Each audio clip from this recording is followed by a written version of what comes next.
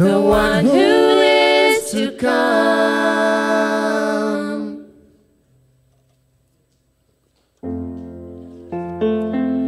Let's pray. Heavenly Father, we thank you this morning just for bringing each and every one of us here um, on this spring morning. Uh, we had rain this morning, but now we have some sunshine, and we are so grateful for for that. We are so grateful that you've called each and every one of us here. We we thank you for who you are. We thank you that we get to be here and we get the privilege of praising you each and every day. We ask that you would just be present here this morning, that you would open our hearts and open our minds to whatever it is you you have come this morning to to tell us, to teach us, and um, yeah, we just pray for open hearts this morning. In your name, I pray.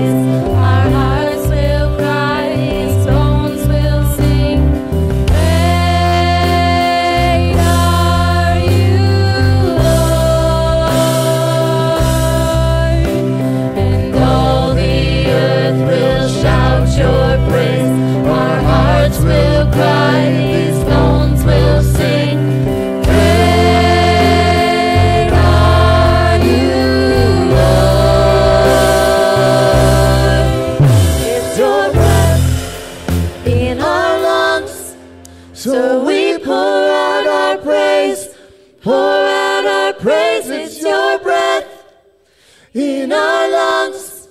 So we pour out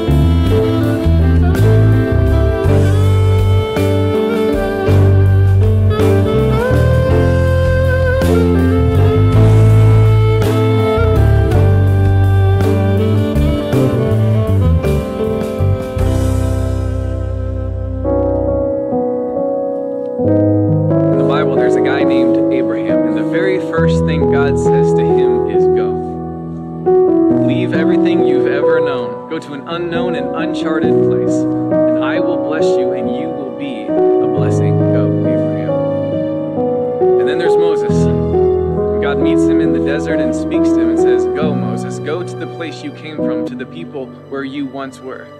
Go because I am sending you. Go and help my people find freedom and redemption. Go, Moses. And then there's Jeremiah, the prophet. He's young, he's inexperienced, he's afraid. And God says, Go, Jeremiah, I'm with you. And then there's Elijah, Esther, Ezekiel, Ruth, and many others who heard the call of God to go and they went. And then the final words of Jesus to his disciples before he ascended into heaven go. I've heard it said that you can be comfortable or courageous, but you can't be both. That's true for Abraham, true for Moses, true for Jeremiah, true for you, and true for me. See, in the Bible, there are comforting words like forgiveness, freedom, and redemption and adoption.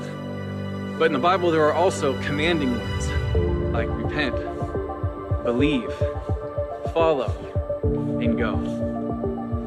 Maybe that's the words you need to hear today to go. Go across the room, across the hall, go across the street, go across the campus, go across the city, the nation, go across the world. Go. It's important for us to remember that this isn't just a command to go, this is an opportunity. An opportunity to bless and to bring hope and to be salt and to shine light in dark places and to give to others what was first given to us. You see, we don't just go because that's what good Christians do. We go because 2,000 years ago, God looked down on a broken and hopeless and hurting world, and He looked on with compassion. And then He looked at His Son, His one and only Son, the one and only person who could do anything about it. And He looked at Him and He said, Go. And He did. And He lived, and He died, and He rose, and now He reigns. And now we go because He did it first. He moved from heaven to earth so that we could move from comfort to courage. And so that's my prayer for you. Not just that you would move to a new city with a new zip code, but that you would move from comfort to courage. That we would all move from complacency to urgency. My prayer for you is that the most beautiful thing in the world to you would not be cars, clothes, and careers, but the gospel of Jesus Christ, to know Him and to make Him known. And my prayer for you is that today you would put your yes on the table and you would leave it there to go wherever and whenever God leads you to go. And so I can't promise that it'll always be exciting, can't promise it'll always be easy, can't promise it'll always make sense, but I can promise you this. It will always be worth it.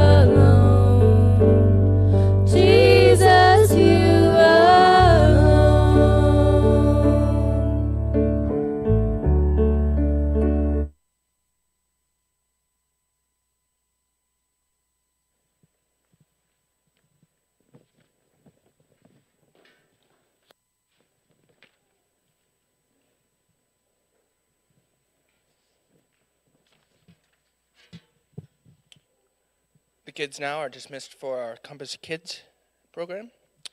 And also, our offerings this morning are for the church and ministry shares and Thrive Safe Church Ministry. There will be a deacon at the back of the church to help you uh, if you need so. Let's come and bow before our God.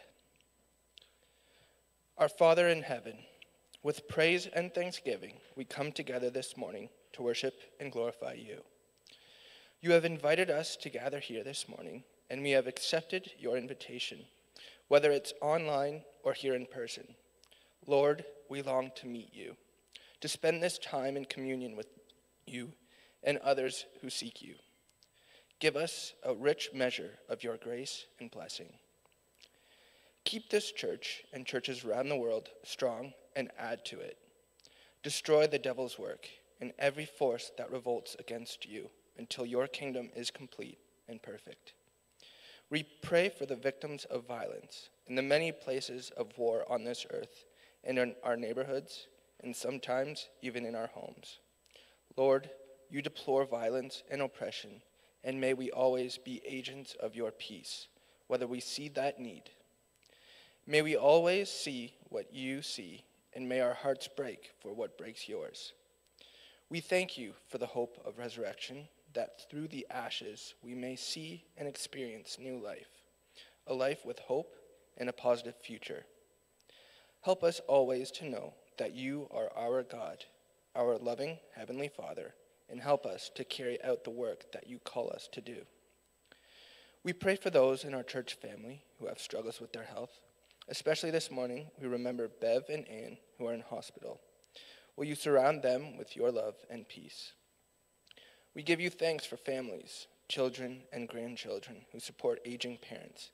Give them strength and patience. Be near, we pray, to all in their declining years as they struggle with various ailments that limit their abilities to do what they once did. We thank you that in all stages of life, we can experience your goodness and that we can still pray and be a blessing to others. We give you thanks, Lord, for Pete's 95 years of life. We thank you for his many years of faithful servants to his family, church, and community. We thank you for his witness of your love and strength through difficulties and through joys. As we celebrate together on Friday, may it be a time of joy and laughter, truly a gift from you. We pray for Joanne and Collingwood too, as she is declining in health. Even though she is far away from us, she is still part of our church family bond. Will you surround her with love and peace as her family supports and cares for her? We pray, Lord, for those who have suffered painful loss. Continue to strengthen Pastor Tony in the loss of his dear brother, and for Andy and Josephine in the loss of their son. Your resurrection conquered death, and we know that our loved ones are safely and joyfully in your presence. May the hope and promise of a new and eternal life with you give hope and comfort when sorrow overwhelms us. We pray for those in prison who are searching for you. We thank you for the many chaplains all over Canada who faithfully minister to the lost and lonely in the darkness of their lives. We ask for a blessing on the committees and Bible study and prayer groups that meet faithfully. Lord, you have given Compass Church many gifted people, and we praise you for that wonderful provision. Help us to always follow the Holy Spirit's leading as we strive to be obedient and faithful servants. May this church be a beacon of hope and light in, the, in this part of Strathroy, and may all search for you and find you here. We thank you for each person who enjoyed the newcomers' lunch last Sunday. May we continue to grow as we explore faith together. Bless Pastor Peter in his work among us and give him a time of rest, refreshment, and family time. As we listen to your word this morning, bless Mr. Raukama, and may we all truly experience and imagine what it was like to be with the disciples on the mountaintop as Jesus gave them a command to spread the good news when he left them to go back to his Father when he had finished his work here on earth. Help us, Lord, to direct all our living, what we think, say, and do, so that your name is glorified in this coming week and always. In your name we pray, Lord Jesus, knowing that you hear us always. Amen.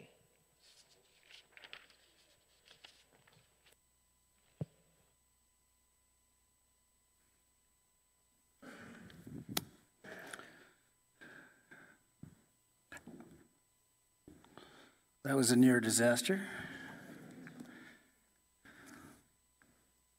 I've had more than one of those in my life, so. Hi, I'm Jerry Raukama, and I'm uh, honored to be here this morning. And we have a whole bunch of feedback, I hear.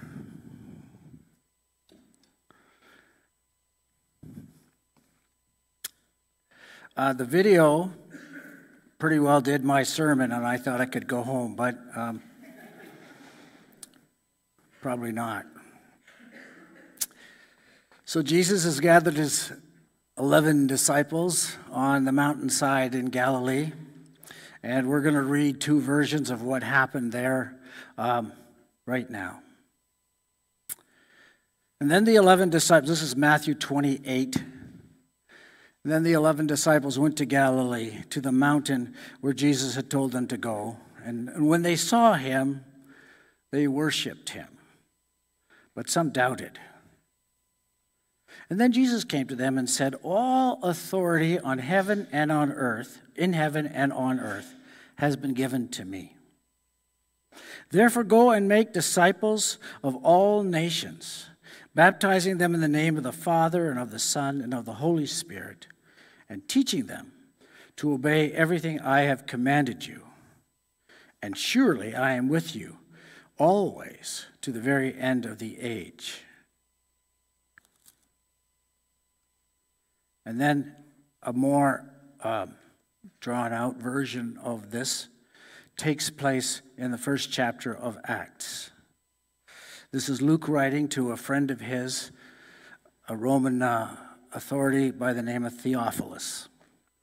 In my former book, Luke, or uh, Theophilus, I wrote about all the things Jesus began to do and teach until the day he was taken up to heaven, after giving instructions through the Holy Spirit to the apostles he had chosen.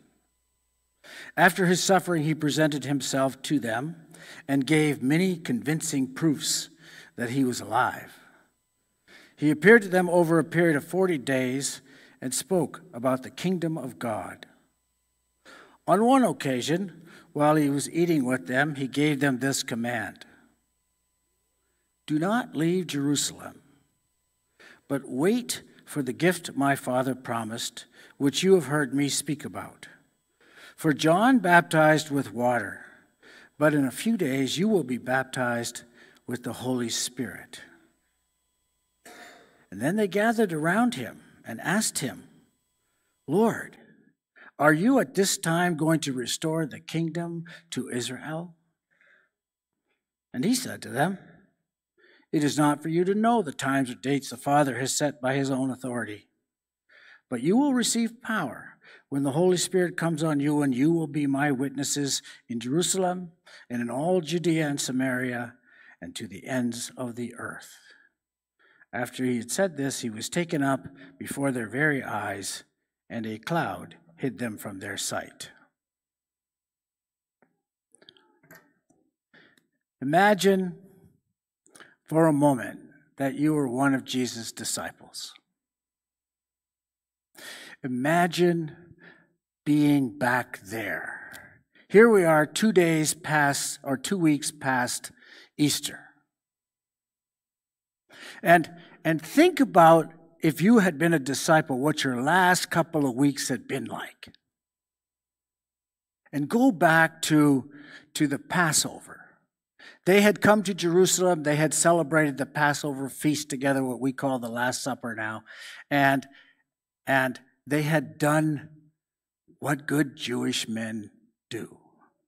And, and then they had gone to the Garden of Gethsemane with him because that was not uncommon for them to do with him, to go somewhere quiet and pray. And then everything fell apart. And then a mob came and arrested him, and then he was tried, and then he was convicted, and then he was sentenced to death, and he was crucified. And you saw that. You saw him hanging on the cross. You saw him, his body, him being declared dead and his, and his body taken down. And, and you knew that, that Nicodemus and Joseph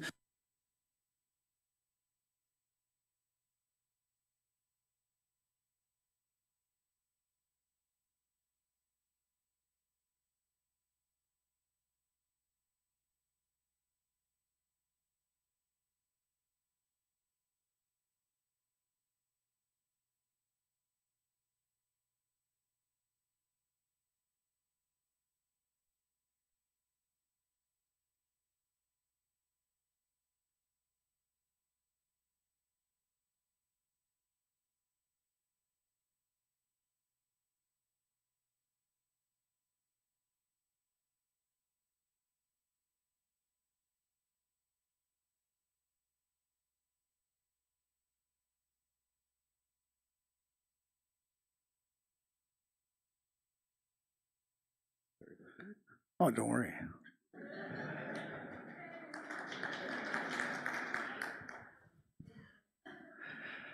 Well, that's great. Now I know that I didn't fail anybody. Okay. So back to it. So you were there, right? You saw him crucified, dead, and buried. And and when you woke up 2,000 years ago on this day, two weeks after his crucifixion, you were shattered. Your dreams had been blown to pieces. You had spent three years of your life with this man, and now he was dead. You had, you had believed the promises of the Old Testament, of the scriptures, that he was the anointed one, the Messiah, that he was going to set all things right. And now he was dead. And then you went to gather with the other disciples, and, and some of the ladies, some of the women of the group came, and they said, But he's alive. And you, like all the other disciples, went, Nah, you doubted it. You said to yourself, This is delusional. This is the ain't, say it ain't so moment. But it was. And here, two weeks later, you're sitting across a fire from him and he's eating a piece of bread and munching on some fried fish with you. And as verse 3 says in Acts 1, he gave once again a convincing proof that he was alive.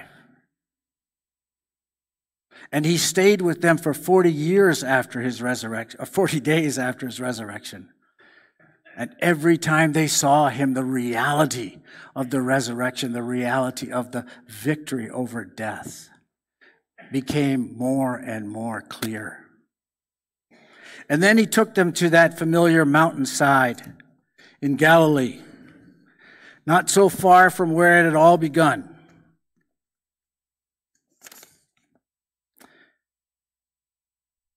And then again, I want you to pretend you were there. Because one of them will ask, and maybe it was you. They asked the question that, that was burning in their head. And the question actually can be boiled down to two words What's next? I always feel sorry for ministers on the Sunday after Easter, because what do you say next?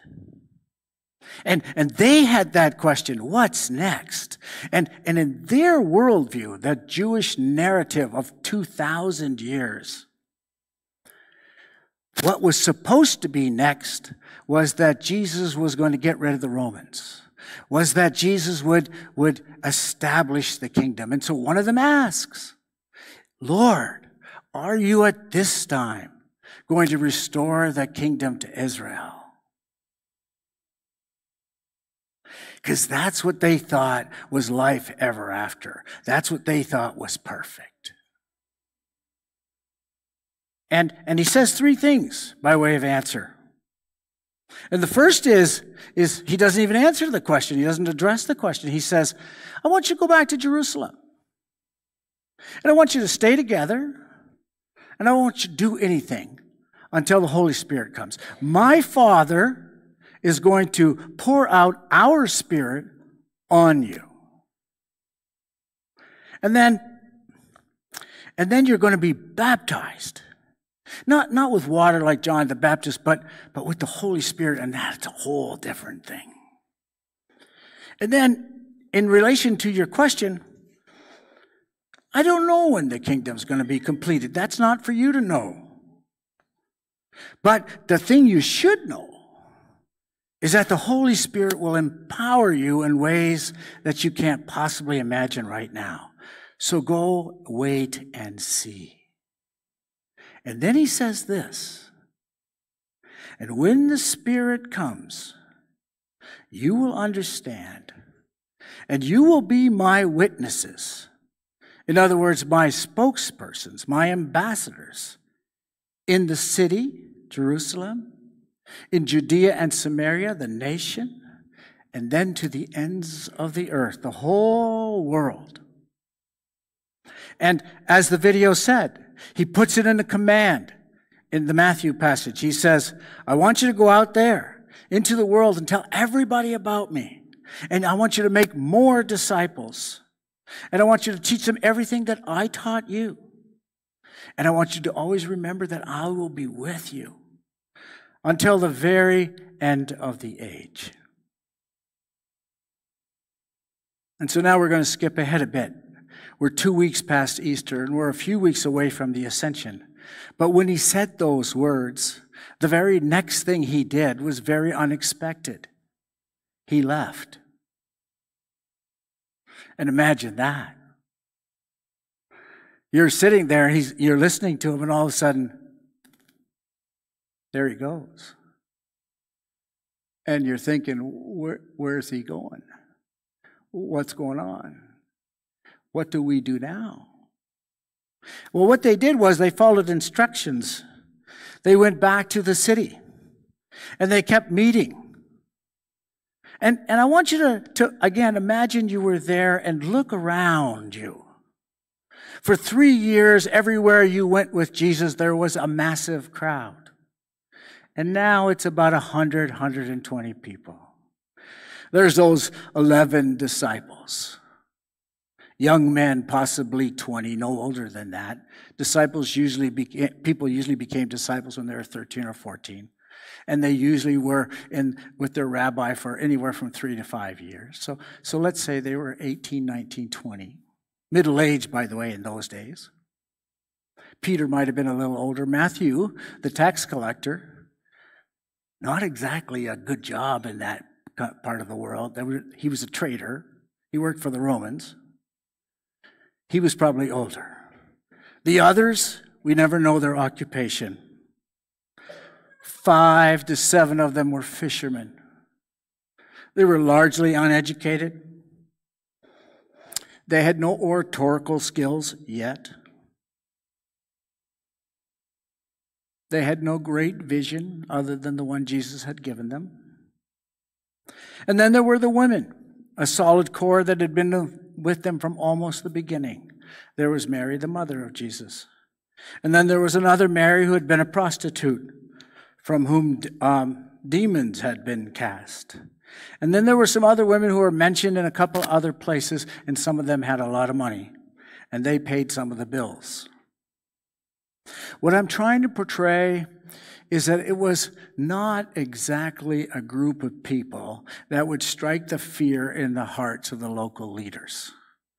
In fact, the local leaders figured that they had pretty well put this Jesus thing to rest. He was dead. Those guys would vanish into the woodwork, go back to fishing in Galilee. And the, and, and the Romans themselves, like, like nobody in, in Rome, eh, Christianity wasn't even on a radar back then. What they are or what they were then, and if you were one of them, was a bunch of nobodies. And then came Pentecost. And then came that baptism Jesus promised by the Holy Spirit. And then they followed instructions again. Even they didn't know how the instructions would work out. And within 300 years, the gospel message would capture the Roman world and would change history. And if you read the rest of the book of Acts, you will see the power of the gospel.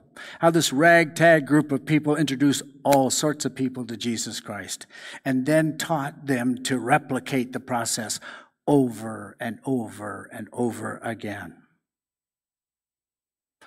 But sit in that room with them on that Sunday morning of Pentecost and imagine the mission. How could they succeed? How would any church succeed? What is Compass trying to do? And the answer comes in two parts, and Jesus provides the first part himself. You will receive power when the Holy Spirit comes on you and you will be my witnesses. You see, the Holy Spirit empowered them. The Holy Spirit empowers us. The Holy Spirit enabled them, and the Holy Spirit will enable us. And again, I want you to imagine this for a minute that you were there. Imagine being a disciple and you're walking in the streets of Jerusalem and your very shadow heals people that are sick. Imagine being there the day Peter told a man who had never walked in his life to get up and go home. And he did. And, and consider as you, as you read on in Acts the power of the Holy Spirit and the faith that they had. And, and then the local leaders in Jerusalem woke up and said, Whoa, this isn't going away. These people aren't going back to Galilee. This is getting bigger, this Jesus thing. And, and a few decades later, people in Rome went, What's going on? There's a movement out there, this, this, this, this, this way, this thing they call the way, this Jesus movement. And, and he's God and not Caesar. And, and they tried to stop it, and they all failed. You see, they believed in the power of the Holy Spirit. And they also believed, eh, they also worked it all out through faith. They had faith. They had faith in the power of the resurrection. They had faith in the power of the Holy Spirit leading them. And in that faith, there is a point to be made this morning. You see, on the face of it, if you look back then, those 11 semi educated young men, had a mission impossible. But the Holy Spirit made it possible. And, and they had no experience in mission work. They had no organizational skill. They weren't particularly good at relationship building. They spoke mostly Aramaic, which was not the language of the Roman Empire or their world, it was Greek. So they sort of had to wing it. They sort of had to take risks, and they sort of had to trust the Holy Spirit would lead them. And they, he did. And, and they started with a small vision, and every day the Holy Spirit made it a little bigger. And the mission got a little bigger, and it got better. And, and they took one of Jesus' most famous parables, the parable of the seeds, and, and they just became seed throwers. They, they just told everybody and anyone they wanted to in all sorts of places about the gospel. They just threw the seed down, and they trusted that the Holy Spirit would water it. And almost always that started fires. Peter started the first fire on Pentecost Day when, when he gave a speech that per- persuaded 3,000 people that Jesus was their Messiah. And sometimes the fires had, had unintended, we would say sometimes bad results. Like a few months later, Stephen had a speech that incited the local leadership that got him killed. And that started the first great persecution of the church, ironically led by a man who would become the world's greatest missionary to this very day. But the silver lining of that persecution is all those disciples were spread out all over Judea and Samaria as Jesus had, had predicted.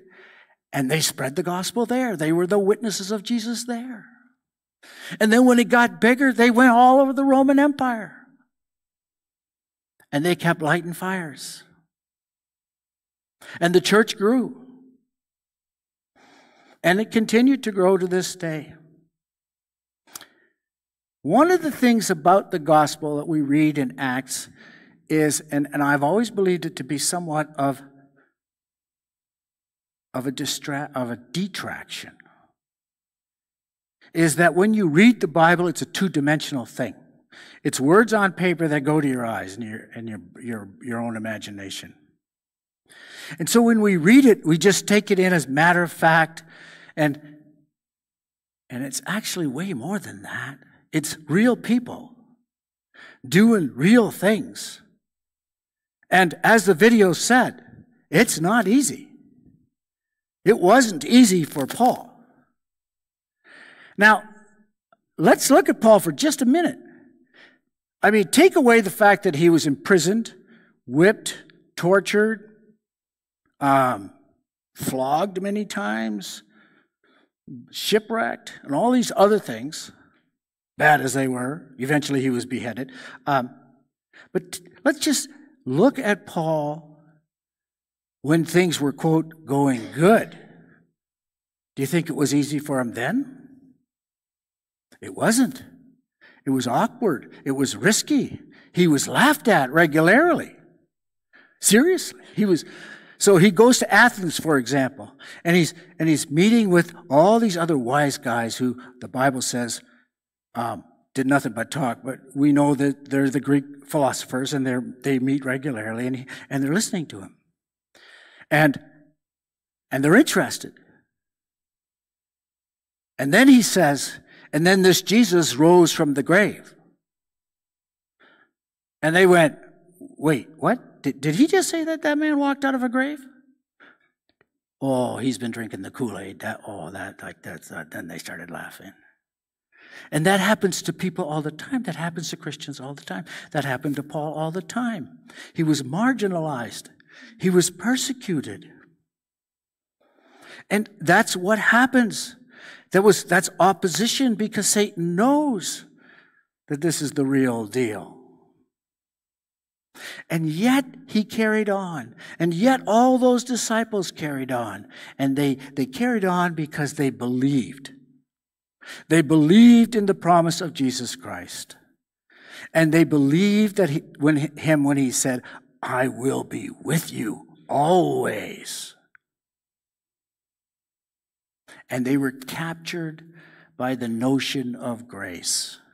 By this notion, by God's great love, by, for God so loved the world that he gave his only son, that you could be freed from your sins through the blood of Jesus Christ.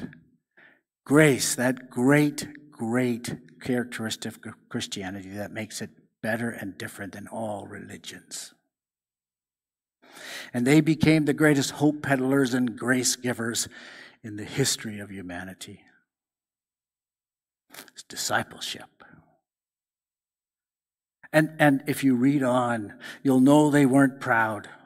You know they worked together. They linked arms with everyone who said they believed in Jesus Christ. And they broke taboos and all sorts of social barriers. They were a bunch of Jewish guys who had been raised to believe that the foreigners, the Gentiles, were all a bunch of pagans, that you should have nothing to do with them. And you had your own special diet, your own way of living, and stay that way. And, and they broke all those rules. And, and, then, and then, for the sake of Jesus, they went to different countries and different nationalities. And they weren't snobs. They weren't intellectual elitists. And they didn't become a bunch of wealthy barons who disregarded other people. Quite the opposite, they cared for the poor. They cared for those who could not help themselves. They took in the outcast. And they were more than willing to talk to strangers because, because their passion, their overriding desire, was to introduce Jesus Christ to somebody else.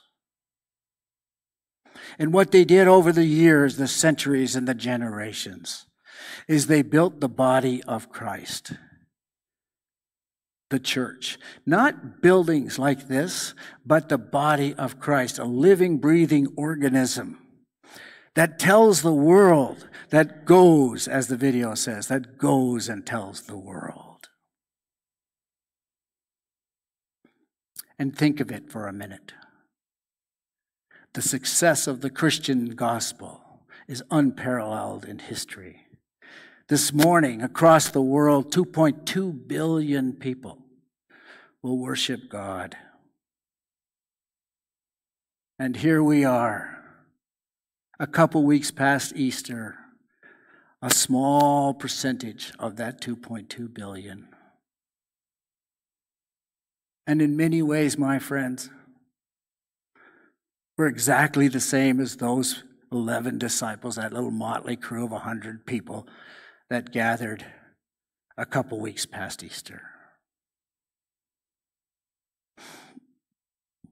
We have been equipped with the exact same Spirit of God as they were. We have been baptized by that Spirit. And the mission of Jesus Christ is no different today. The words of Matthew 28 are still the same. Go out there and tell people about me. Teach them everything I taught you, and do it fearlessly because I'm with you. That is the mission of any church. That's what this compass thing is all about. All of us, from time to time, have to answer this question Why are you a Christian? And I'm sure that some of us have similar stories, but I'm sure that if I asked 50 of you, I'd get 50 different little versions of things. But there's actually one common answer for every single one who calls themselves a follower of Jesus Christ. And that is this Somebody told me. You see, somebody told me. That would be my, my parents. I probably heard the name Jesus the first time in my life when I wasn't even realizing it in, in the form of some little Dutch lullaby. But somebody told us about Jesus of Nazareth, born in this backwater Roman province 2,000 years ago called Judea. And somebody told us that this Jesus grew up to become the most influential human being in all of history. And we believed it. And somebody told us that Jesus, by himself, sacrificed himself despite the fact that he was completely innocent. Sacrificed himself for all our sins, for all our faults, and all our frailties. And then he did an even more extraordinary thing. He walked out of a grave two days later. Somebody told us that, and we believed it. And in that faith, He gives us hope. He gives us a purpose. He gives us, His Spirit enables us to live beyond ourselves, to truly love God and our neighbors in genuine ways. And somebody told us that one day he's coming back. That one day we're going to see him face to face. That one day that kingdom they asked him about on that hill in Galilee will be complete. It will be restored, but it'll be way bigger than they thought. It'll be universal. You've heard this before. Somebody told you. And now is the time to tell somebody else. Is it going to be risky? Yes. Is it going to be easy? No. Is it, is it going to be awkward? Sometimes. Probably. Is it going to be worth it? Well, is it going to be worth it? I got to tell you, folks, there will be nothing more worthwhile in all our living that we could do than to introduce even one person to life in Jesus Christ. There is nothing that we could do that would be more worthy than to introduce someone to the family of God, not just for today or next week, but forever. That's worth it. So, so let's do what we say we want to do. Let's go. Let's talk the gospel. You do that with words, but you also do that with character. You also do that in the way you live and work and play. You will be my witnesses, he says. God help us as we do just that. Pray with me, please. Father God, we thank you for Jesus Christ. We thank you for your love for this world in Jesus Christ. And we thank you, Jesus, that you left your Spirit. And we pray, Holy Spirit, that you will empower and enable our hearts to serve you in everything we do, everything we say, for your sake and God's glory. Amen.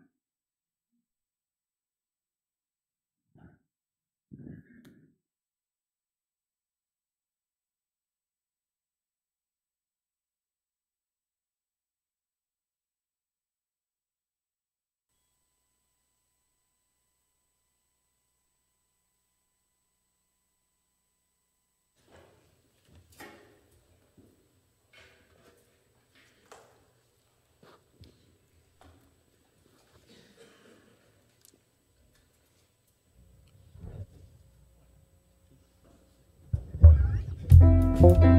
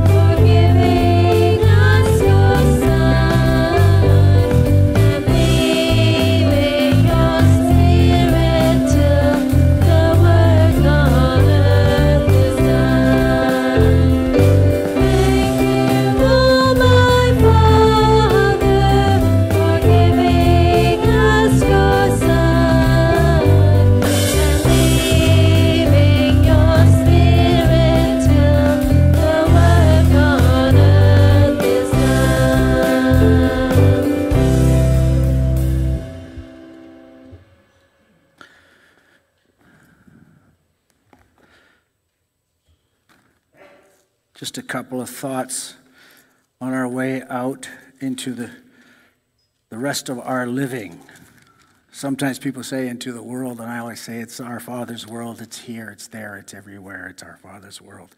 Jesus says in, in the Matthew passage, he says, um, And surely I am always with you to the very end of the age. And Christians, too often, just when, they, when you read that passage in Matthew, you think about going out and making disciples, which is, is the function of the church. But that He is always with us is has to be the underlying confidence we live with and in. And the Apostle Paul puts it the best in Romans chapter 8. And he talks about, um, he asks this famous question. He says, who shall separate us from the love of Christ? Because that's what God so loved the world is all about, is the love of Jesus Christ. Shall trouble or hardship or persecution or famine or nakedness or danger or sword or whatever problems you can think of in our contemporary world? The answer is no. Because in all these things we are more than conquerors through him who loved us. For I'm convinced that neither death, nor life, nor angels, nor demons, nor, nor the present, nor the future, nor any powers, nor neither height nor depth, nor anything else in all creation will be able to separate us from the love of God that is in Christ Jesus our Lord. So, my sisters and brothers, my friends, go into your living in whatever it is you do with the grace of God the Father the love of Jesus the Son, our Savior, and the fellowship of the Holy Spirit who lives in your hearts. And all God's people said, Amen.